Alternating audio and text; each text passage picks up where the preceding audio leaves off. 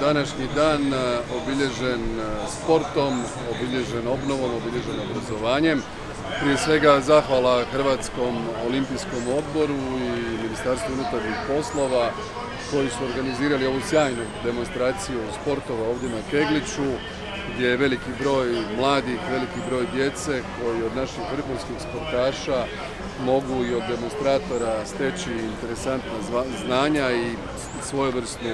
privlačnost pojedinom sportu, od borilačkih sportova do ovih loptačkih sportova. Meni je to posebno drago jer smo zaista vlada koja ne samo da voli sport, koja je sport u prvi put digla na razinu ministarstva i koja je povećala izdvajanje za sport od 2016. do danas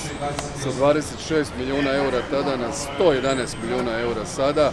I mislim da smo i ovim vremenima krize odlučili stati za sportaša i za trenera, vodili računa o individualnim sportovima, o zimskim, ljetnim sportovima, loptačkim sportovima,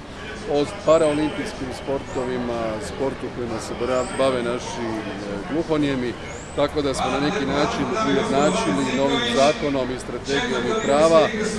svi imaju iste naknade, vodili računa o trenerima da ne budu oni zaboravljeni kao što je bio slučaj prije i mislim da smo na ovaj način e, učinili ono što hrvatski sport u našem društvu i u promociji Hrvatske u biti i zaslužuje. Zato mi je posebno drago da su se čak dvije naše reprezentacije ovim kolektivnim sportovima kvalificirale za olimpijadu u Parizu. I rukometaši i vaterpolisti, da smo imali dva velika vaterpolo prvenstva u Hrvatskoj u manje od godinu i pol dana,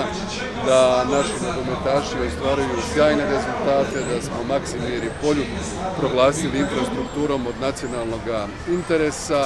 i da vodimo računa i o prvenstvu u hrvanju, prvenstvu u džudu,